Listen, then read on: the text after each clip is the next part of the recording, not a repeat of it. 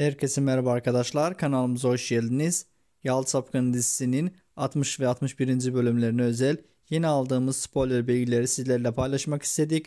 Sizler de Yalı Sapkın dizisinin 60. bölüm 2. fragmanında Seyran ve Akın karakterlerimizin birbirlerinden elinden tutarak kafeden ayrıldıklarını sizler de gördünüz ve Seyran'ın buna mecbur olduğunu, Ferit'in babasının kurtulması için elinden geleni yapacağını sizler yeni bölümleri izlerken de şahit olacaksınız ve Kazım Ağa ile Ökkeş Ağa'nın baskılarına dayanamayan Seyran'ın Akın'la beraber söz yüzüklerinin takılacağını sizler de 61. bölümü izlerken şahit olacaksınız.